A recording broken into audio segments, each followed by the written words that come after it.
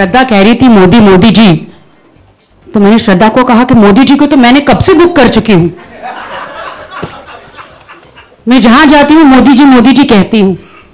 But अभी इस साल तो मैं अभी फ़िलहाल रेड्डी जी को ही बुक करूँगी।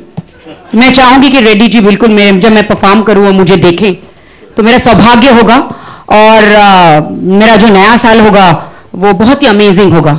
मुझे तो रेड्डी जी में ही मोदी जी और आ, आ, हाँ वही। राहुल जी, सब कुछ मुझे इसी में नज़र आते हैं। और बात रही कृष्णा की तो कृष्णा, मैं तो आपकी मीरा हूँ, आपकी राधा के साथ। मुझे नृत्य कि दुबई में कोई दंगा होगा। बिल्कुल नहीं बिकॉज़ मैं पहले कंट्री क्लब के साथ परफॉर्म कर चुकी हूँ। सूरत में। आप यकीन मानिए, कम से कम, नहीं नहीं तो इतना क्राउड मैंने अपनी लाइफ में नहीं देखा होगा। जहाँ मेरी नज़रें जाती है, वहाँ तक इंसान मतलब कंट्री क्लब के मेंबर्स खड़े हैं। और मतलब एकदम यू you नो know, जब मैं परफॉर्म करती हूँ और जो जिस टाइप के कपड़े पहनती हूँ एकदम hot and sexy you know तो वो उसमें ना थर्टी फ़र्स्ट को लोग एकदम झूम जाते हैं। और होना ही चाहिए ताकि यू you नो know, हम हम सब परफॉर्म लड़कियाँ करती है तो नया साल जब आता है उससे पहले यू you नो know, हम लोग धमाका करते हैं। और फिर दो परफॉर्मेंस थ्री परफॉर्मेंस मतलब जितने भी ऑडियंस होते हैं जितने भी वो बिल्कुल झूम जाते हैं और बहुत उन्हें मज़ा आता है। और धमाका मुझे करने की ज़रूरत कभी नहीं पड़ती। मैं स्टेज पे खड़ी हो जाती हूँ ऑलरेडी धमाका हो जाता है। जैसे आपने अभी देखा मैं माफ़ी चाहती हूँ कि मैं थोड़ी सी लेट आई। एक्चुअली मैं स्टेयर उतर रही थी वहाँ पे मेरा शूज़ टूट गया। तो इसमें मेरा कोई फॉल्ट नहीं है यू नो तो इसीलिए पायल मैं सही कह रही हूँ। हाँ हाँ इसका शू टूट गया हाँ देखिए तो पता नहीं कुछ ना कुछ टूटते रहता है कुछ ना कुछ होते रहता है। तो it's not my fault sorry जो रेड्डी जी कहे वो हम जो भी अलाउड होता है वो हम पहन लेंगे। रिवीलिंग होगा मिस्टर मिस्टर रेड्डी। हाँ कृष्णा और कैश कश्मीरा के साथ अगर मैं परफॉर्म करती तो वो बात बहुत अलग होती।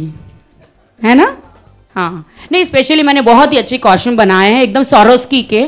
सौरोस्की के एकदम आप तो देख रहे देख रहे कि प्रेस कॉन्फ्रेंस में मैं इतना सौरोस्की पहनकर आई हूँ।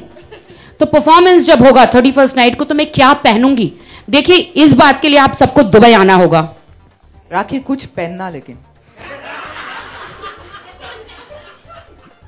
कैश वो तो पहनना ही पड़ेगा क्या करूँ? वरना मेरा बस चलता तो यू नो वॉट सलमान को देखने की मतलब आप क्या बात कर रहे हैं? सलमान शाहरुख सबको हम देख रहे हैं। लेकिन अभी मैं किसके साथ हूँ? आप मुझे देखिए।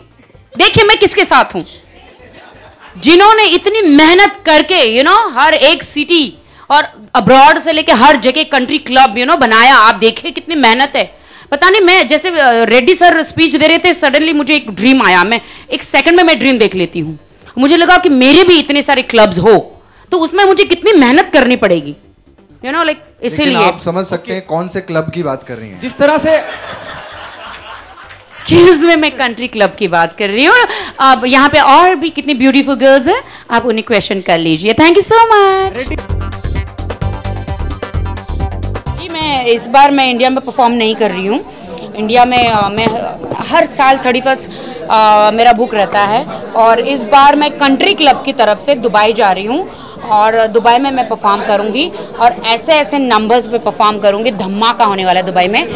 और मैं एकदम हॉट नंबर्स और इंडियन नंबर सारे नंबर्स पे मैं परफॉर्म करने वाली हूँ। मैं इंडिया में तो हमेशा परफॉर्म करती हूँ, लेकिन दुबई में जो मेरे फैंस हैं, वो भी इंडियंस हैं।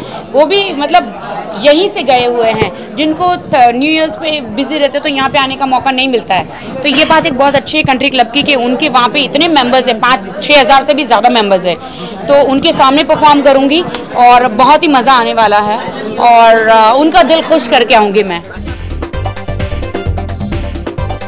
देखिए स्टाइल तो मेरा अपना ही होगा परफॉर्म करने का बिकॉज़ जो स्टाइल मेरा है आई डोंट थिंक सो किसी और का है। बिकॉज़ लुक तो मुझे कॉपी करते हैं। बट uh, मेरा यही कहना है कि uh, रामलीला का जो प्रियंका का जो सॉन्ग है वो बहुत ही हॉट पैपी नंबर है और प्रियंका मेरी बहुत अच्छी दोस्त है और वो बहुत ही अच्छी इंसान है तो मैं वो तो मेरी फेवरेट है। प्रियंका का देन दीपिका का देन करीना का करीना तो मेरी डार्लिंग है। तो इन सब के आइटम सॉन्ग्स जो है इन सब के परफॉर्मेंस मैं करने वाली हूँ। हाँ डेफिनेटली मेरे अपने और दूसरी दूसरी सारी एक्ट्रेसों के स्पेशली मैं प्रियंका का जो जो इंग्लिश वाला नंबर है, उस पर भी मैं बहुत ही हॉट हॉट पैंट और बिकनी टॉप जो है उसमें पहन के मैं करने वाली हूँ। Because it's very nice song नहीं नहीं, मुझे किसी रिपोर्टर ने पूछा कि अगर आपके पास एक एक्स्ट्रा टिकट है तो आप बॉलीवुड कौन से स्टार को बुलाएँगे? मैंने कहा कि जी देखिए सारे स्टार तो बहुत बिज़ी हैं तो मैं बुलाना चाहूँगी किसी को मतलब नाराज़ नहीं करना चाहती हूँ किसी भी स्टार को तो मैंने कहा बुलाना चाहूँगी मोदी जी को because he is also my favourite देखिए मैं डेफिनेटली मैं नहीं कहूँगी।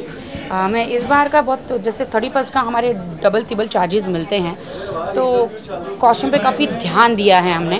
और स्पेशली दुबई जा रही तो दुबई में मैं ऐसा क्या स्पेशल करूँ? ऐसे कौन से कौन से झंडे गाड़ के आऊँ जो दुबई की जनता मुझे याद रखेगी? तो मैंने बहुत ही अच्छे सौरस के डायमंड के कॉस्ट्यूम बनाए हैं।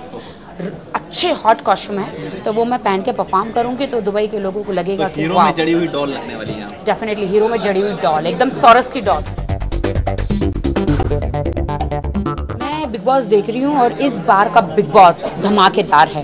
कोई भी मेरे सीज़न के अलावा मुझे कोई भी सीज़न इतना अच्छा नहीं लगा। ये सीज़न को छोड़ के ये सीज़न माइंड ब्लोइंग था। लेकिन इस पे काफ़ी आरोप लग रहे हैं सलमान के ऊपर पार्शियलिटी करते हैं। वो मैं कुछ नहीं कहना चाहूँगी सलमान मेरी जान है। अच्छा आपने कभी देखा कि सलमान सलमान मेरा दोस्त है सलमान मेरी जान है सलमान जो भी करेगा अच्छा ही करेगा। और किसी को हक नहीं है सलमान को कुछ बोलने का बिकॉज़ सलमान के सामने सब चाय पानी कम चाहिए ये नेचर ही रहा है कि अपने दोस्त को तो हमेशा फेवर तो करते ही है ना? मुझे भी फेवर करते हैं मुझे भी हमेशा कभी कुछ होता है तो मुझे बोलते हैं मेरी मदद करते हैं मेरी हेल्प करते हैं कभी कुछ प्रॉब्लम्स है तो वो उनका नेचर है बहुत अच्छे इंसान है सलमान का नेचर है कि वो बहुत लोगों की हेल्प करते हैं। और आपके पैरों के नीचे से ज़मीन निकल जाएँगी जब आप उनको देखेंगे कि उन्होंने ऑर्फन एज में इतना अपना कमाया हुआ पैसा देते हैं ऑर्फन एज में विडो औरतें हैं या अनाथ बच्चे हैं वो इतनी मदद करते हैं। मेरे ख्याल से इसलिए गॉड भी उन्हें छप्पड़ फाड़ के दे रहा है। वो इतने अच्छे हर साल बिग बॉस में जाती हूँ। हर साल जाती हूँ। इस बार एक्चुअली मैं अभी कनाडा जा रही हूँ। तो मेरा कम से कम पूरे मेरे छः महीने कम से कम मेरे शोज़ में ही रहते हैं अब्रॉड में। तो शोज़ में हूँ तो कभी मेरी डेट मिलती है कभी उनकी नहीं डेट मिलती। बट सलमान जब मुझे बुलाते हैं तो मैं जाती हूँ। एक बार तो मैं कनाडा में थी लास्ट ईयर तभी मुझे बुलाया था तो मैं तुरंत फ़्लाइट पकड़ के मैं तुरंत आ गई। एट नहीं करना है चाह- चाहते हैं। उस पर आप क्या कहेंगे? अगर छोड़ देंगे शो तो? नहीं सलमान करेंगे। खबरें आ रही हैं खुद भी कितनी बार कह तो शाहरुख कर लेंगे। क्यों नहीं? दोनों दोस्त है। आप चाहते हैं शाहरुख को देखना हाँ शाहरुख बिग बॉस करे सलमान करे एक ही बात है। दोनों दोस्त है। दोनों प्यार करते हैं एक दूसरे से। हम कौन होते हैं दोनों एक दूसरे के बीच में आग लगाने वाले? हम कोई नहीं होते। हम दोस्ती भी तो नहीं करवा पा रहे हैं। नहीं हम दोस्ती हो चुकी है। वो दुश्मन नहीं है। दोस्त है। दो बहुत पक्के दोस्त